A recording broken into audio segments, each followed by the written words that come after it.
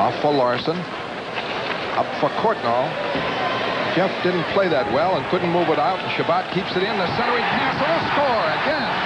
Courtnall failing to clear it out. And breaking in was Hannan.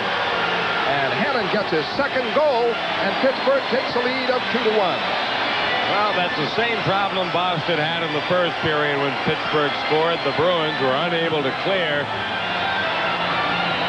Here it is with Hillier keeping it in at the point. Courtnall thought he had it cleared and couldn't. Now Chabot with a pretty pass out in front right on the stick of Hannan. Pat Riggin had no chance. The only hope that Riggo had was that Hannan shot it right at him. And he didn't. He put it in the spot where he couldn't get it in the back of the net. Hannan's fourth of the year, his second of the night. One of the tough plays for a winger to make is over on the boards, getting that pass up from the defenseman. And Courtnall had trouble with it there.